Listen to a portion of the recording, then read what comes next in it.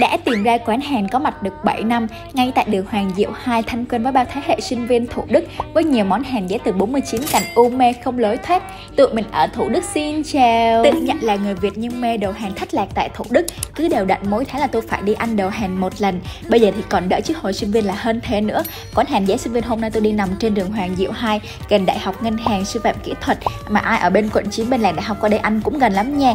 Xem menu của Chuti Korean Food này thì như là hội tụ đủ các món hàng về đây, từ đồ nướng, lẩu tteokbokki, chả cá Hàn Quốc, cơm cuộn gà sốt bingsu là có đủ luôn nha. Để gọi là trải nghiệm thì tôi sẽ order một bàn siêu nhiều món như này. Trong ba vị gà thì nhóm tôi mua được thích một loại, gà cay phô mai thì béo ngậy của lớp phô mai kéo sợi phụ bên ngoài. Gà sốt kem hành giòn sẽ là cái vị sốt béo, nhưng mà chua chua ngọt ngọt dễ ăn. Gà sốt bơ tỏ thì thơm, mặn mặn, ngọt ngọt.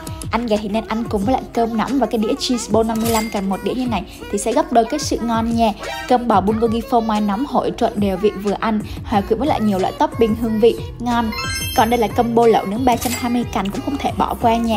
Phần nướng thì có bò heo. Tôi nhờ quán nướng sẵn cùng với lại rau thêm miếng ớt tỏi chấm nhẹ với lại sốt hàn. Lẩu kim chi topping siêu nhiều như này ăn cùng với lại mì hàn cũng lại lạ lắm. Để kết thúc bữa ăn tụi mình gọi thêm một binh su dưa lưới tàu đùng là 99 cành. Với lại một binh su dâu phô mai là 89 cành. Tôi thì sẽ thích ăn dưa lưới hơn kiểu thanh mát. Còn binh su dâu phô mai thì cũng ngon không kém nha. Không gian quán thì rộng rãi có máy lạnh mát rười rượi. Các bạn nhân viên thì phục vụ nhiệt tình nè chị chủ thì dễ thương.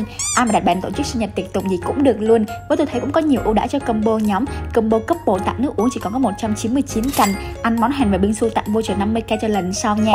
Có ra bắt các món gà mới gọi là được tặng chi nữa. Bye bye!